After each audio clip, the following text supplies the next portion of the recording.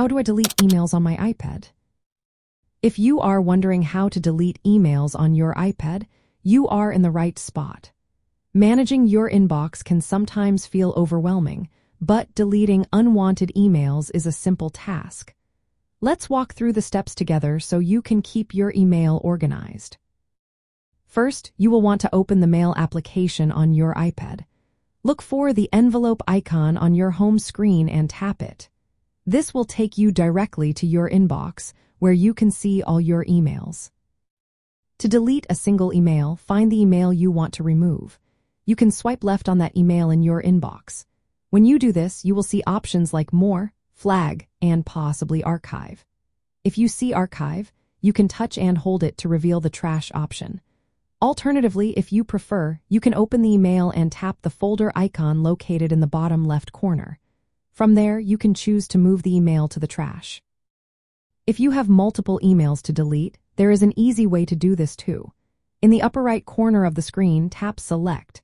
This will allow you to check the boxes next to the emails you want to delete. If you want to delete all emails, you can tap Select All. Once you have made your selections, tap Trash at the bottom of the screen. If you only see Archive, touch and hold it to access the Trash Selected Messages option. Now, if you want to permanently delete emails, you will need to empty your trash folder.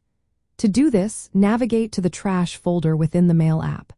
Tap Edit in the top right corner, then tap Delete All to remove all emails from the trash. Sometimes, you might accidentally delete an email you want to keep. If that happens, don't worry. You can recover it by going to the trash folder. Just tap the email you want to recover and move it back to your inbox or another folder. Lastly, if you want to customize where your deleted emails go, you can change this setting. Go to the Settings application, select Mail, and then choose your email account. Under Account Settings, you can decide whether to move discarded messages to the deleted mailbox or archive mailbox. By following these steps, you can effectively manage your emails on your iPad. Whether you are deleting a single email or multiple ones, these tips will help you keep your inbox tidy. Happy emailing!